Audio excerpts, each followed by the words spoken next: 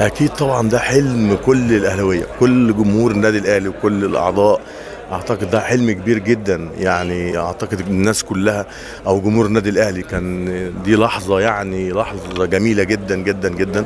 وأعتقد ده هيبقى صرح يعني يمكن يعني من أكتر الحاجات اللي اتعملت في تاريخ النادي الأهلي يعني. يعني يعني أنا يمكن أنا طبعا ممكن أكون ميال إن مثلا الكابتن محمود الخطيب أعتقد أسطورة الكرة المصرية وأعتقد هو كمان يعني الحقيقة صاحب الإنجاز وصاحب تحقيق الإنجاز مع مجموعة مجلس الإدارة فلو يتعمل باسم الكابتن محمود الخطيب أنا برشح كده طبعا حضور أنا شايف يعني رغم إن وقت طبعا صيام ووقت الساعة واحدة لكن الناس كلها جاية لأن الناس كلها زي ما قلت لك ده صرح كبير جدا جدا لجمهور النادي الأهلي وأعضاء النادي الأهلي ومحبين النادي الأهلي.